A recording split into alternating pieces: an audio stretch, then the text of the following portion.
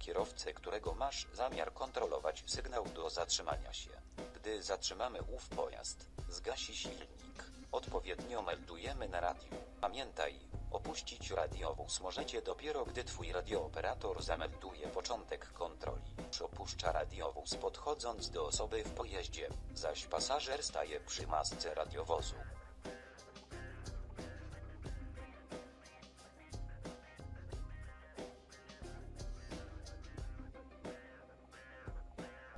Kierowca radiowozu podchodzi do mężczyzny, który prowadził ów pojazd. Zabierając od niego dokumenty osobiste, podaje je partnerowi, gdzie on sprawdza osobnikowi kartotekę.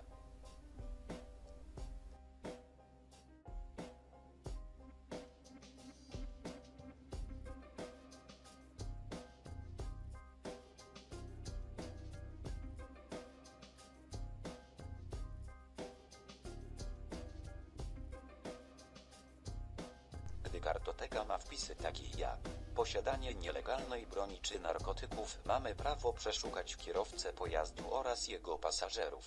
Jednak gdy kartoteka jest czysta, przedstawiamy powód zatrzymania.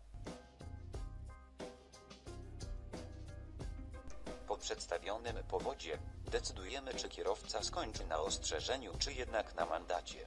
Po tym jak funkcjonariusze wrócą do pojazdu, dają sygnał kierowcy, by mógł odjechać.